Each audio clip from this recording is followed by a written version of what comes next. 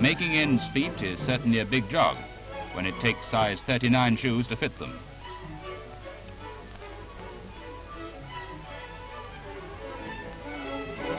Two into one do go.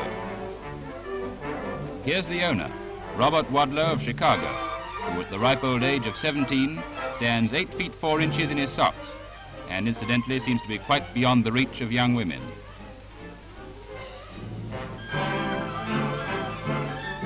Every time young Robert goes through a doorway, he scores a duck.